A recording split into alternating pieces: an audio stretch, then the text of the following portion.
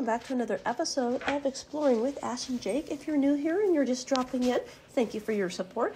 To my OG subscribers, thank you for helping our channel keep up and running. Today we're going to be talking about a mom who thought a slain five year old boy was possessed by a demon. Let's get into it. The mother accused of murdering her five year old son made social media posts deranged post saying she believed that he was possessed by demons before she killed him and abandoned him in a suitcase. An Indiana detective wrote in a probable cause affidavit last week Dejaune Ludie Anderson, 37, is now on the run from the police who are canvassing the country in search of her. She faces murder charges and the death of her son, Cairo Ammar Jordan, who police say likely died of dehydration before his body was dumped in a suitcase with a Las Vegas logo emblazoned on it off a Royal Road in Indiana in April. Detectives publicly announced their search for Anderson on Tuesday, delivering long awaited answers to the residents of southwest Indiana who searched for answers about the boy and flooded a police tip line with thousands of calls for more than six months. The first break in the case came in June 29th when Indiana State Police were alerted that the fingerprints on the trash bag inside the suitcase belonged to Anderson. They said a month later more fingerprints were discovered that were matched to Dawn Coleman, according to the affidavit.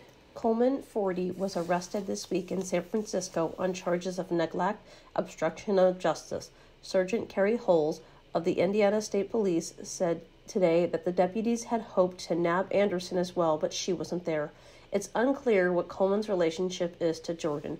A probable cause affidavit sheds light into the mental state of Coleman and Anderson, who appear to become deranged, according to a series of social media posts about demons, vessels, possessed child in the months before Jordan's death.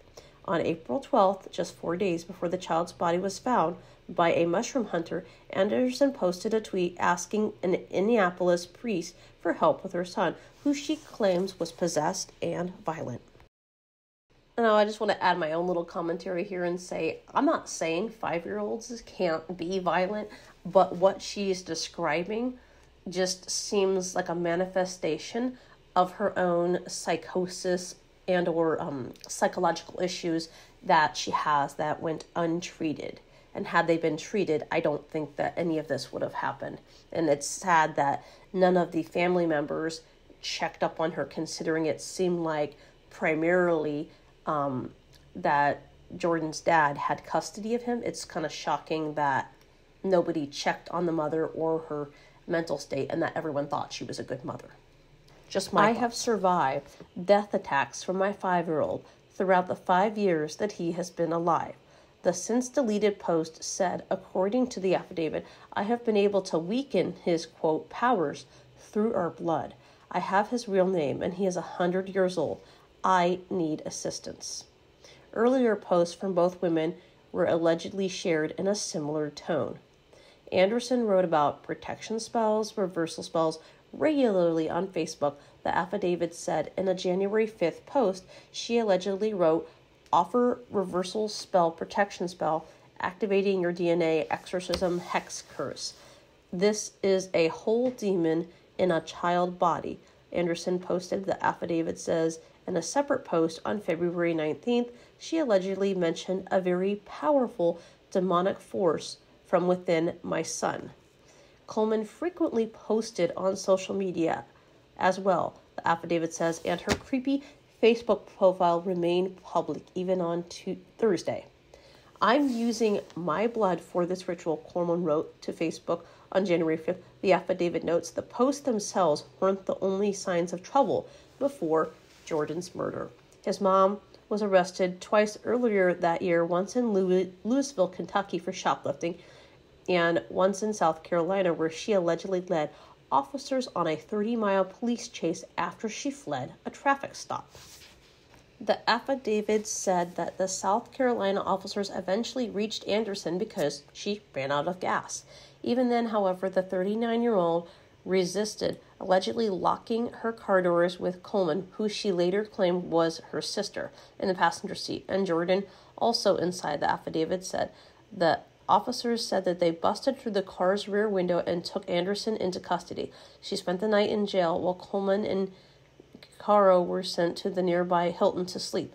The affidavit said Anderson's arrest and Coleman's stay at the Hilton would provoke key key in Indiana detectives' investigation. The fingerprints obtained during the booking in South Carolina is what led them to identify Anderson as a suspect, and cops were able to obtain Coleman's cell phone number from the hotel stay, the affidavit says. That led Indiana detectives to trace location data from the duo's phone to being near the site where Jordan's body was abandoned two days before the suitcase was discovered.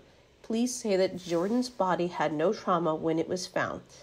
His cause of death was determined to be from electrolyte imbalance, which cops wrote is rare in children, which is rare without neglect. So if you're basically taking care of your children, that will not happen.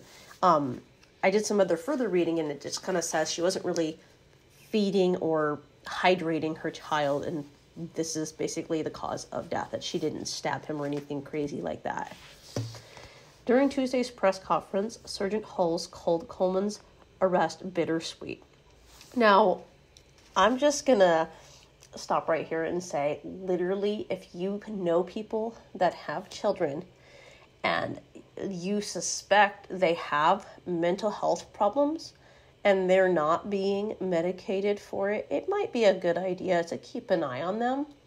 Um, just because um, people who have mental health conditions, if they're not treating them, it can put whoever they're caring for in danger as well as the person doing the caring.